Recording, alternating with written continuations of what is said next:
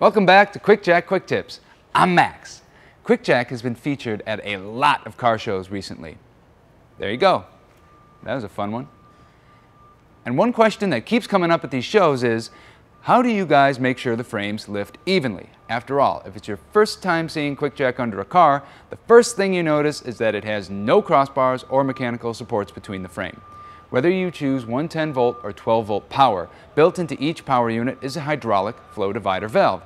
This flow divider ensures oil enters both hydraulic hoses at the same pressure during the lift. When the frames descend, the divider also ensures oil returns evenly, filling up the oil tank with a single safe flow. So whether you're raising or lowering your vehicle, QuickJack's frames remain equally pressurized and stable at all times.